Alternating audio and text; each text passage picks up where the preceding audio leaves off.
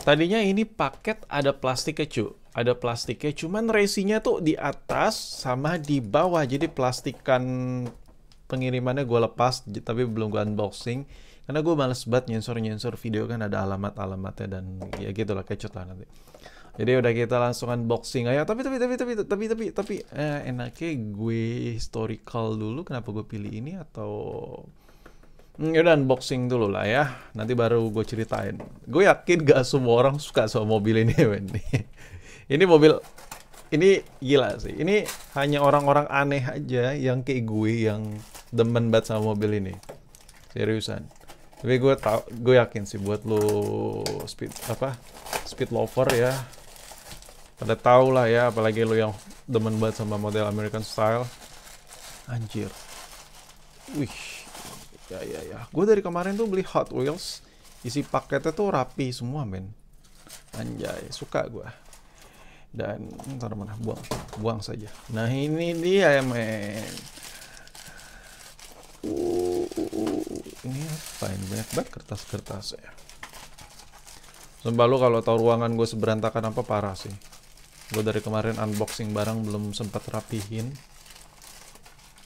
yang ini which is studio gue tapi sengaja gue sediain kasur kecil gitu buat gue tidur kalau gue ngantuk. Jadi ini semi-semi kamar lah ya studio. Tapi ya chaos parah berantakan banget nih ruangan. Anjay. Anjay. Nah anjir. Gelo gelo. Gue gue sih bakal gue modifikasi sih ini. Cuman nggak yang nggak yang ekstrim ya. Uh, ini lo bisa lihat ya, hmm, bentukannya gila sih. Ini, uh, uh, uh, uh, beda banget sama Hot Wheels Hot Wheels yang banyak beredar. Ini versi old banget ini. Hmm, kita langsung kasih lihat ya. Sorry, uh, agak agak bengong gue karena gue lagi baca-bacain bentar. Ini kira-kira apa dia? Tara! Ini adalah Dodge Ram 1500. Ini adalah salah satu yang paling compact dari Dodge Ram. Dia ada versi di atasnya nggak hanya 1500 saja. Nah ini pakai, ini gue kenapa gue suka sama Dodge Ram ini karena dia pakai mesin Cummins, jadi gila banget kalau udah di modified dan mesinnya durable parah Cummins itu di kehidupan nyata mobil Cummins mobil yang bermesin Cummins itu sangat-sangat bagus banget untuk sisi durability-nya. Jadi gue suka banget dan gue ngefans banget. Nah, yang gue kurang suka dari Hot Wheels si Dodge Ram ini velg ya. Ya, ya karena ini bukan Hot Wheels premium, jadi gue bakal ganti nanti gue bakal beli pelek, nanti bakal gue otak-atik. Nah, Dodge Ram ini kalau udah dimodifikasi, ini meskipun mobil pickup, ya you know lah ya, kayak gimana Hilux sih kalau dimodelin, kalau di versi-versi drag punya itu kenceng-kenceng parah kan Nah karena garasi Hot Wheels gue yang tadi gue kasih lihat ke lu itu bener-bener mobil-mobil yang di atas nalar semua speed ya. Jadi makanya gue pilih-pilihin mobil-mobil koleksi yang agak-agak susah sih. Untuk varian Hot Wheels ini ya untuk cari-cari mobil-mobil yang gue hunting itu susah cuy. Jadi gue milih-milihnya tuh agak lama. Nah, bagian bawahnya seperti ini men.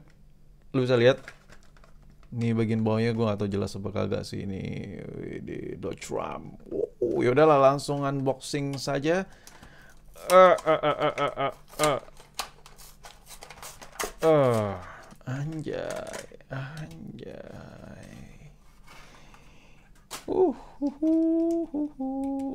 Ih, gila men, ini versi old banget. Ini bahan metalnya tuh masih apa ya? Ini kalau diketok nih Anjir, tipis banget lo gue ambil dulu satu lagi koleksi. ini serius ini beda banget. Ini ini bahan plastiknya tuh ih anjir tipis banget, ringan banget sumpah men. Tapi gue suka banget sama model si Dodge Ram ini. Nanti gue bakal modifikasi. Yang pertama nih bagian headlampnya nih. Headlampnya nanti bakal gue gue kuning kuningin tau lah market market barat ya. Saya itu kuning terus ini lampunya nanti gue kasih reflektor silver gitu. Grillnya nanti gue cutting nanti jadi model ada intercoolernya di depan. Kalau gue sempet ya jadi untuk sementara gue bakal taruh ya gini aja lah dulu. Dan dan gue yakin anjir lu pada gak suka sama model yang gue pilih. Orang tuh kalau nontonin unboxing konten Hot Wheels tuh yang keren-keren gitu koleksi ini mobil bak pula ya. Tapi ya udah gue kasih lihat dulu Dodge Ram ini kalau udah dimodelin segok apa nih gue kasih lihat videonya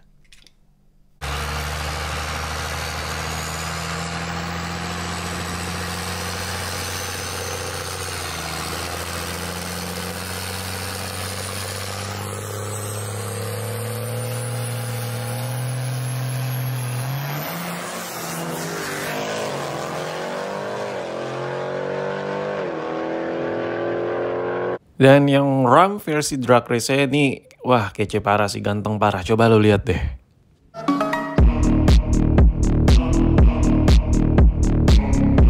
Dan mesin Cummins yang ada di Dodge Ram ini di luar negeri itu banyak dijadiin pabrik berjalan ya kan. Bukan cumi-cumi lagi men gila sih tenaganya gede banget nih pasti. Tadi gue sempet bilang kan di awal video gue nggak bakal ngechat atau modifikasi ekstrim gitu paling ganti ban.